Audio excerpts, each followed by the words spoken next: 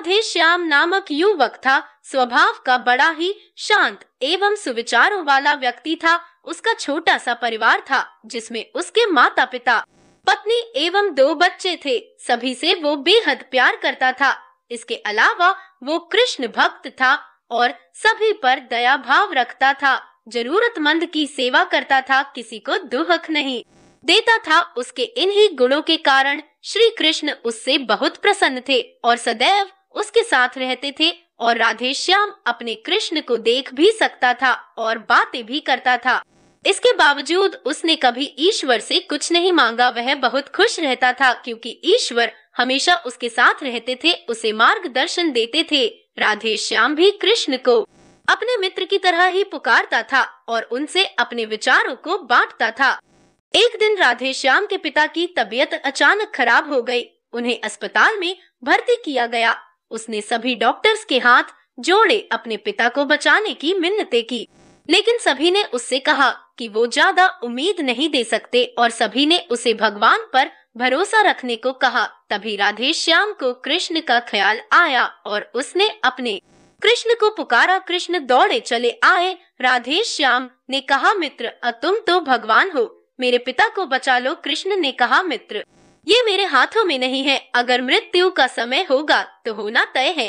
इस पर राधे श्याम नाराज़ हो गया और कृष्ण से लड़ने लगा। गुस्से में उन्हें कोसने लगा। भगवान ने भी उसे बहुत समझाया, पर उसने एक न सुनी।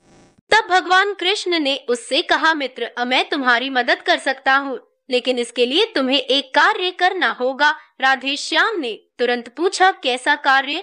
कृष्ण ने कहा, तुम्हें किसी एक घर से मुट्ठी भर ज्वार लानी होगी और ध्यान रखना होगा कि उस परिवार में कभी किसी की मृत्यु न हुई हो।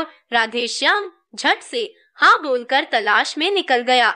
उसने कई दरवाजे खटखटाए, हर घर में ज्वार तो होती, लेकिन ऐसा कोई नहीं होता जिनके परिवार में किसी की मृत्यु ना हुई हो। किसी का पिता, किसी का दादा, किसी का भाई, माँ काकी या बहन दो दिन तक भटकने के बाद भी राधे श्याम को ऐसा एक भी घर नहीं मिला तब उसे इस बात का एहसास हुआ कि मृत्यु एक अटल सत्य है इसका सामना सभी को करना होता है इससे कोई नहीं भाग सकता और वो अपने व्यवहार के लिए कृष्ण से क्षमा माँगता है और निर्णय लेता है जब तक उसके पिता जीवित हैं, उनकी सेवा करेगा।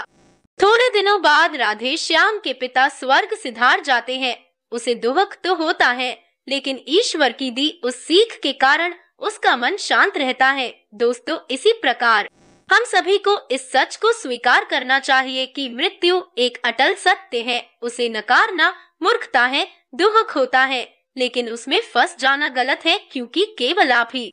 उस दुहक से पीड़ित नहीं है, अपितु संपूर्ण मानव जाति उस दुहक से रूबरू होती ही है। ऐसे सच को स्वीकार कर आगे बढ़ना ही जीवन है। कई बार हम अपने किसी खास के चले जाने से इतने बेबस हो जाते हैं कि सामने खड़ा जीवन और उससे जुड़े लोग हमें दिखाई ही नहीं पड़ते, ऐसे अंधकार से निकलना मुश्किल हो जाता है, जो मनुष्य मृत्यु के सत्य को स्वीकार कर लेता है, उसका जीवन भार विहीन हो जाता है और उसे कभी कोई कष्ट तोड़ नहीं सकता, वो जीवन के हर क्षेत्र में आगे बढ़ता जाता है।